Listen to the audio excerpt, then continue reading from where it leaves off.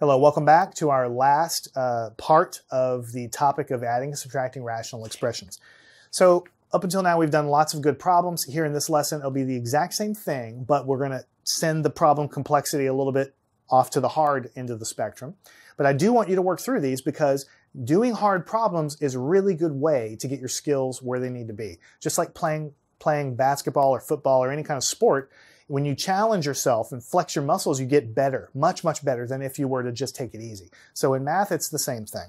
Let's take a look at the first problem here in our list. We have uh, x minus y raised to the negative 1 power minus x plus y also raised to the negative 1 power. Now, if you remember, negative powers just means you take it and move it in the denominator and make it a positive power. So this really becomes 1 over x minus y. Uh, you can to the first power. I'll leave it uh, alone there because it's implied first power there. And then 1 over x plus y here, again, to the invisible positive power there. So I just move them downstairs, basically. And now I need to find a common denominator. So I have x minus y, x plus y. There's nothing obvious I can multiply one or the other fraction by. So what you need to do if you don't have any other recourse is the common denominator to use is just the product of the two individual denominators. So to see that more clearly, I'm going to write it like this. The first fraction I'll write out is x minus y here. And then I'll subtract from that the second fraction, which will be x plus y. So what I'm going to do is take this first denominator here and multiply by the other one, which will be x plus y. Of course, when I do that, I have to multiply the top by x plus y. Okay, and then I'll take this one and multiply by the previous denominator, x minus y. That's what I mean by the new common denominator is the product of the original denominators, the product of what we had here.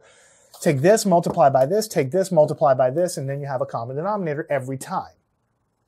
Okay, so then what we have is on the answer, what we're going to have is this is the new common denominator, x minus y, x plus y. Now the numerators have to be subtracted. So this is just times 1. So we just have x minus, I'm sorry, x plus y. Then we minus this guy, but this negative gets distributed in. It's like an invisible negative 1 going into the x, making it negative x. And this going into the negative y, making it positive y, so plus y. So you have to be very careful when you're subtracting to distribute that guy into whatever's on the top. Then we have something very close to our final answer. We see, though, that the x will cancel with the negative x. So the x's go away.